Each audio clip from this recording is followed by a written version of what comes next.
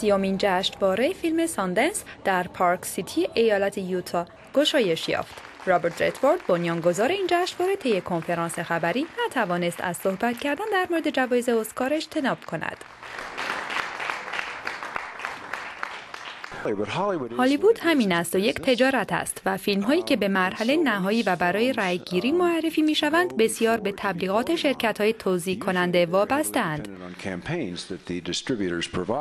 تبلیغات بسیاری در حال انجام است و می تواند بسیار سیاسی شود ولی اشکال ندارد زیرا این یک تجارت است. آنچه به ما و فیلم ما مربوط می شود این است که ما با مسئله توضیح بسیار کم یا نبود آن مواجه شدیم.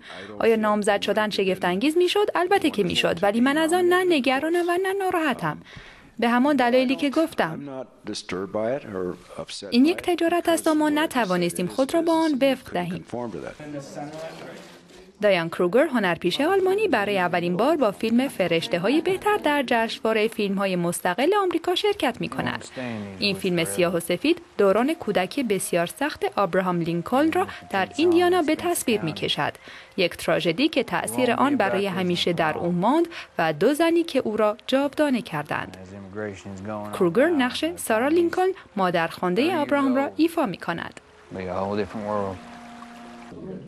آنچه در فیلم نامه از آن خوشم آمد این بود که درست است که داستان در مورد زندگی آبراهام لینکلن است ولی می توانست زندگی هر کودکی که متفاوت و کنجکاو است نیز باشد. کودکی که توسط یک بزرگسال یعنی سارا لینکلن تشویق شد تا به مدرسه برود. پیام این فیلم را دوست دارم که می‌گوید مهم نیست اهل کجاییم و چه کسی هستیم و چقدر فقیریم. می توانیم به شخصی بزرگ تبدیل شویم و جهان را تغییر دهیم.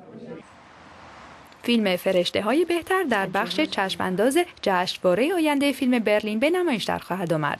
تهیه کننده این فیلم ترنس ملیک و توسط ای جی ادواردز یکی از همکاران قدیمی ملیک نوشته و کارگردانی شده است. جشنواره فیلم ساندنس تا پنجم بهمن ادامه دارد.